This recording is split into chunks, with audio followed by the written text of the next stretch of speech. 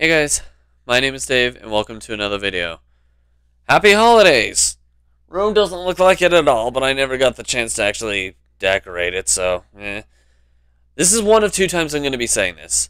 Um, well, that first bit. Second time, um, tomorrow when I say it, I'm going to try to have uh, Pink Fox with me to say it as well. So I'm sure she's going to want to say it. One way or the other, um, just so you guys know, the videos you guys are seeing today and tomorrow are being, I mean, like all the videos, but they're being well prepped way ahead of time. Uh, try. This video is being recorded two weeks before the actual event, uh, the actual date. As of right now, as of the recording of this video, it's technically not even any of the holidays yet. But regardless, I did want to keep you guys posted. I'm trying to. I, I mean, I usually have these prep two weeks at a time anyway. Um, but just as kind of a starter note, I'm going to be. I'm actually doing it even more so, just because I do want to take some time off to be able to spend with Pink Fox, with uh, families, you know, all that kind of stuff.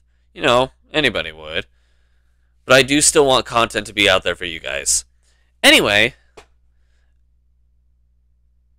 let's. I, I, I kind of wanted to just lay that out really quick.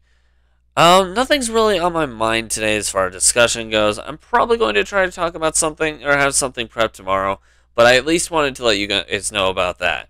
So, whether it's whether you celebrate Hanukkah, Ramadan, Kwanzaa, um, Christmas, or whatever it may be, I hope you guys have a good one. I hope it all. I hope you guys have happy end of the year, and let's get ready and prepped for the new year to come.